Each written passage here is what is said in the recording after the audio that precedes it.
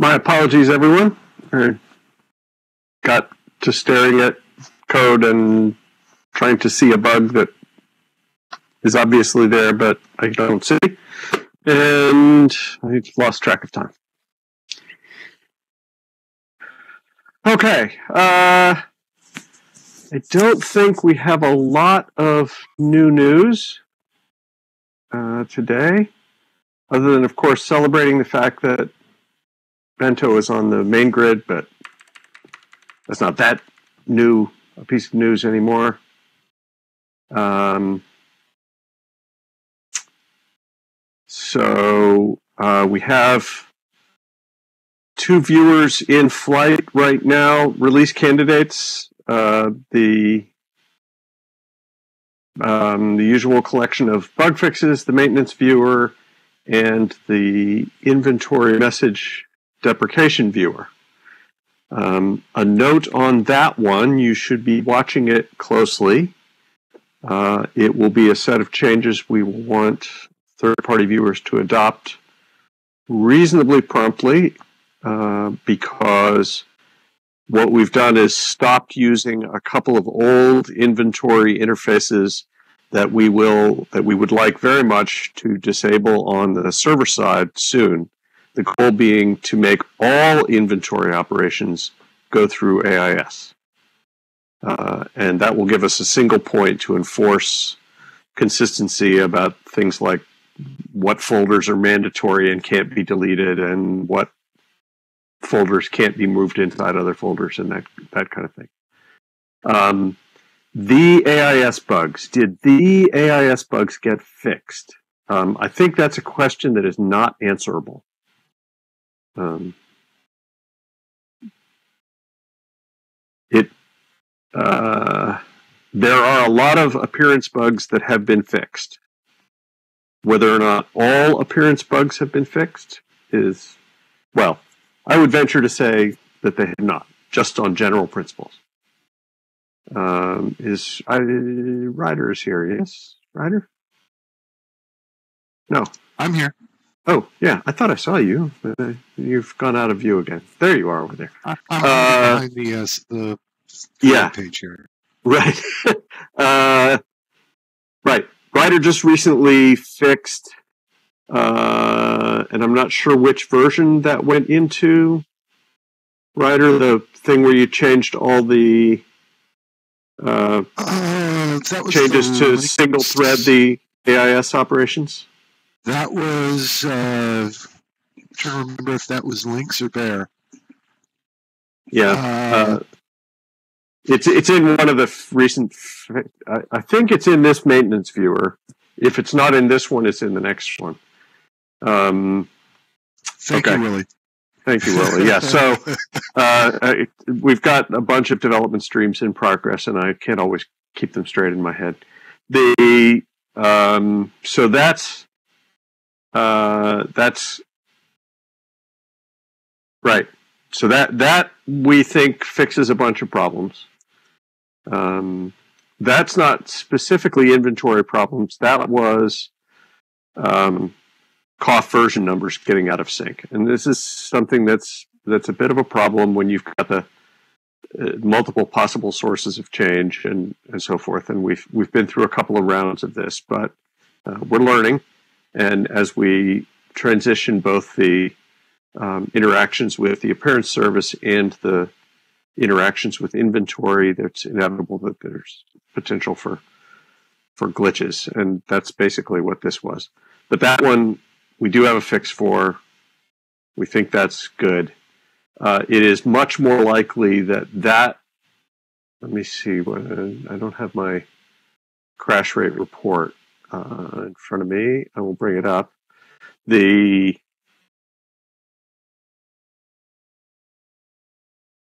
yeah, right now the maintenance viewer is doing significantly better than the inventory message viewer. There are probably still some problems in the inventory message viewer um, that need to be sorted out, but we will get those. We will get those sorted, uh, and uh, hopefully that one will advance pretty soon. Uh, I wouldn't venture to predict right now which of those is going to go first, but Uh, those will be among our next couple. Uh, then, of course, there are uh, other cohorts in in progress. The, the the bento viewer, of course, um, not likely to go to release candidate status very soon. We, as with as with any project with this potentially big an impact, we're going to we're going to be we're going to continue to be measured and careful about it.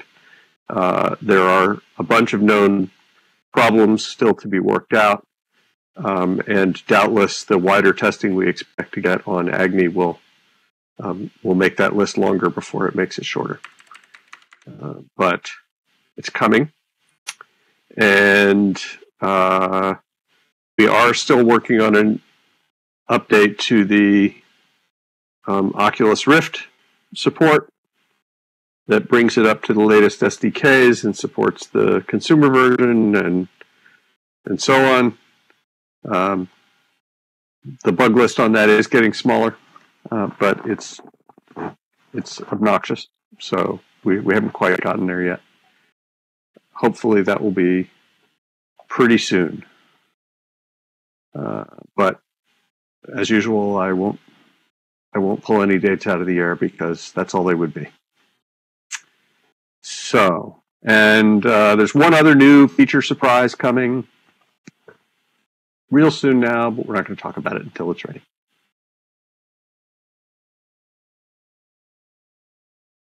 When will we get Oculus to develop? Oh, when, when will you get an, a, a Rift viewer? Um, even we can't get them right now. So, uh,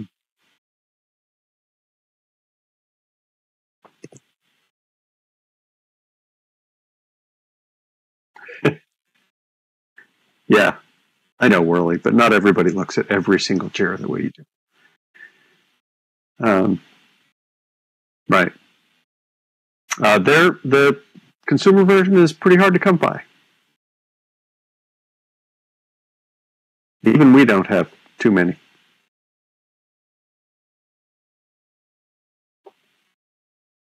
We have we have connections.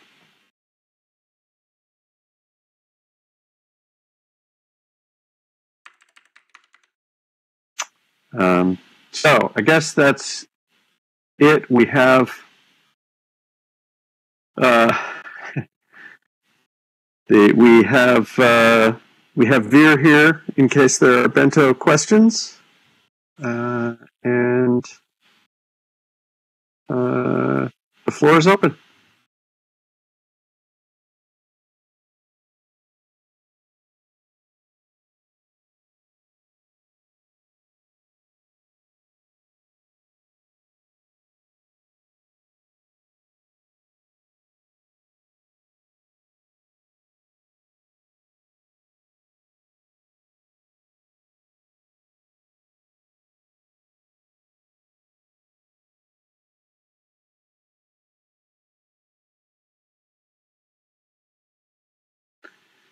It was the update item command, AIS command, that was broken and recreated items when they were deleted.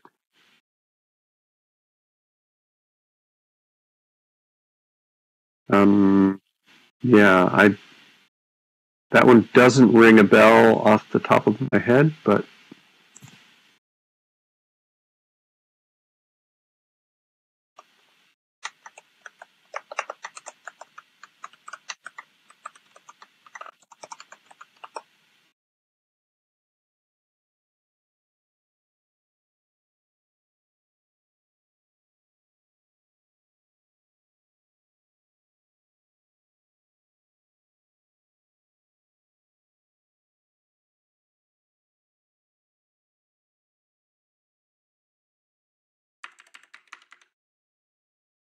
Yeah, I, I'm, I'm not, I'm not finding any reference to that.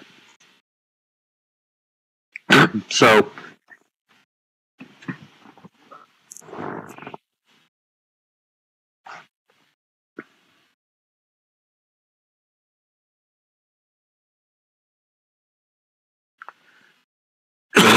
excuse me, a little bit of a cold.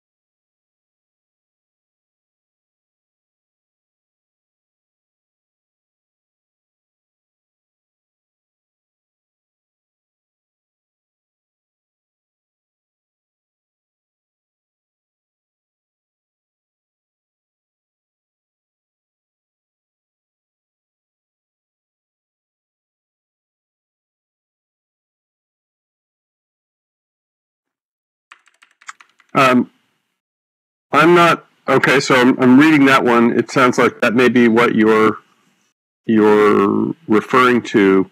What I would suggest, Kitty, is that you see if you can get the the repro you're describing to um, to work on the inventory viewer. That is, can you reproduce the problem on the inventory viewer? I'm concerned about the 410. I'm not sure if we handle that correctly, but AIS is now serialized, so you won't get you won't get one before the other. Right. Uh, um, except I'm, I think the serialized AIS is only in the maintenance branch. It may be that we need both of these to come together to completely fix this.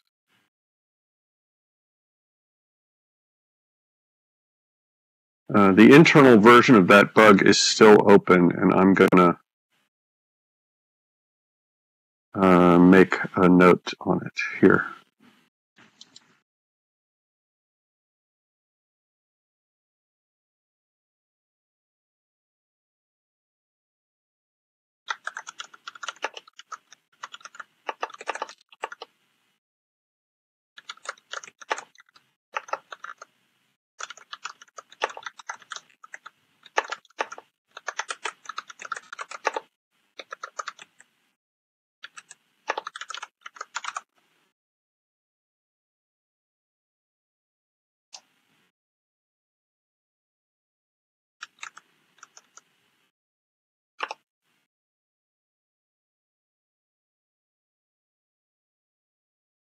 Uh, that that looks like it's a okay. I have uh, I've I've asked QA to um, rerun that one. It probably won't happen until sometime next week. Uh, we're a little shorthanded at the moment. Vacation season and so forth has begun. So, but uh, we'll get that one retested. It looks as though we've done a bunch of things that will make that better. Uh, whether or not all of the things needed to completely fix it have happened in any one place, um, I, we don't know. So we'll check in all the places. And then what we may want to do is merge two of our viewers and see if that one fixes it. But thanks for bringing it up. That's a good that's a good catch. Interesting bug. Um, there, there should be a bunch of cases that were breaking before that are now, yeah, right when we when we merge them. Um, there should be a bunch of cases that were breaking before that are now fixed in in one or another of those viewers. But the point about the inventory viewer is that the things that it's taking out, we're taking out in the viewer code, and then some reasonable amount of time, we'll talk with uh, the major viewers about what their release schedules look like. Um, we will begin turning off those the, the, the old legacy interfaces on the server side. Uh, so uh, we so that we can make the server side more robust for everybody. That's great. Uh,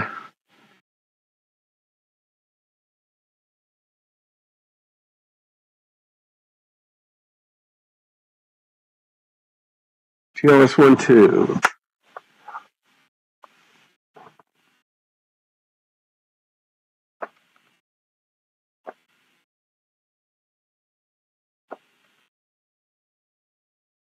I believe that it will affect being able to purchase items in world and send and receive Linden dollars to other avatars. Yes, because it's it's it's all interactions with the cashier. And uh, yeah, this uh, unfortunately this is not something that we're doing. Uh, lots of other things, including the inventory thing, is that we're uh, that we're that we're changing about about how we handle old stuff is because we're trying to just apply good software engineering principles and only have one way of doing things that we only really need one way to do.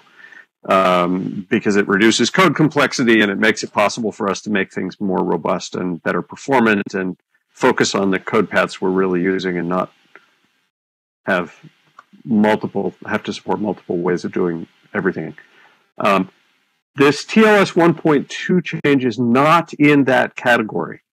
Uh, this TLS 1.2 change is because we're conforming to the rules for uh, money transfer um, institutions. I, am not sure what the technical term for what we are is, but we are we are subject to a bunch of uh, regulations that have to do with money and uh, moving Linden dollars around because they're convertible back and forth to real money means that we have to treat them like that. We have to follow some of those rules, lots of those rules, and uh, all versions of TLS one uh, of TLS earlier than 1.2 are at least technically uh, subject to vulnerable to certain man in the middle attacks, and so somebody could spoof uh, if they could get between you and the and the servers, uh, which you know there are lots of there are lots and lots of machines between you and the servers that might be running malicious code. So uh, theoretically, bad things could happen, and and so we are upgrading to make sure that that's not possible.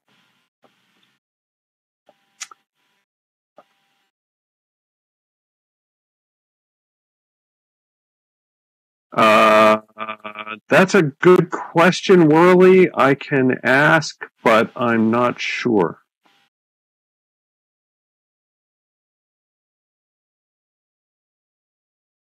Uh, I can, I will, I will definitely look into that. It would be a good idea if we can do it.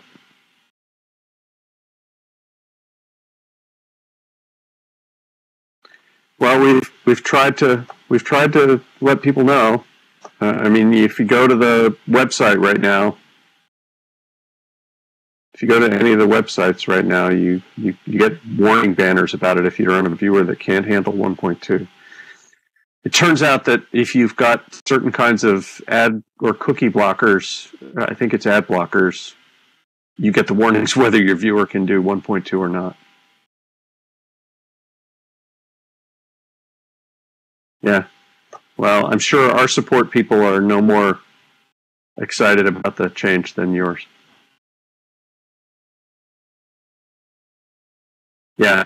The TLS checker serves you a, a, a little tiny, you know, almost invisible image um, off in the corner or something and um, checks to see whether it can do that with TLS 1.2. And if if you've blocked the, uh, the ad blocker, the little image doesn't get blocked and it thinks you can't do TLS 1.2.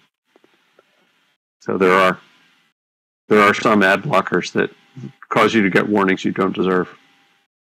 Not there's nothing we can do about that.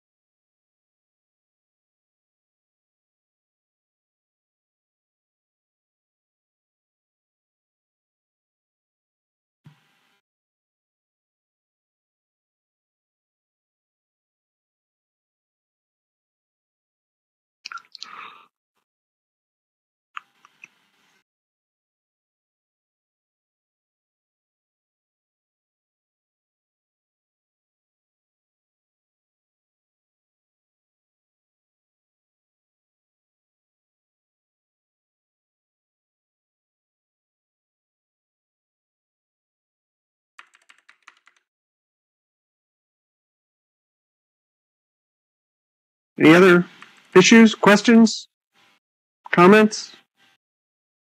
64 bit viewer is still on hold. Uh, we, we may, and I emphasize may, have a version of the viewer that does not have QuickTime. And then we may be able to get back in another week or two to doing work on the 64 bit.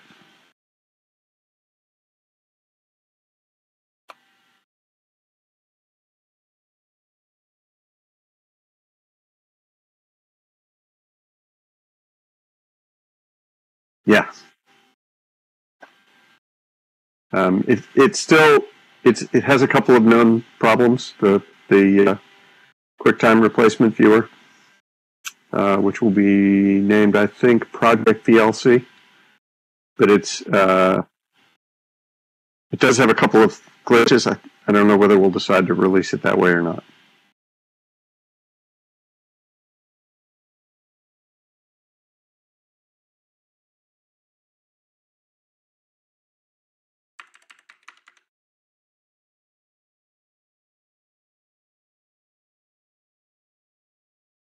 Okay, well, um,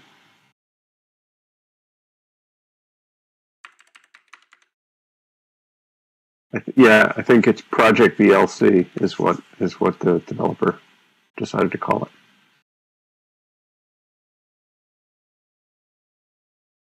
Because we're doing some of the media handling with libVLC and others other parts with uh, CEF.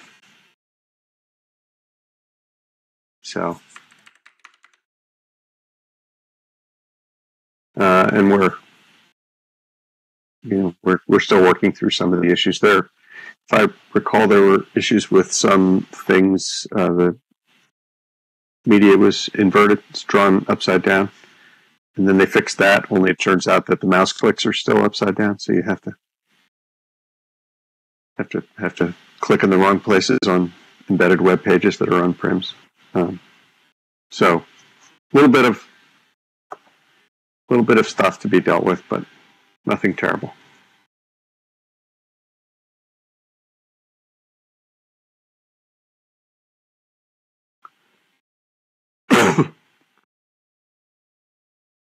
okay. Uh, well, if if we're out of questions, you can all have a half an hour back.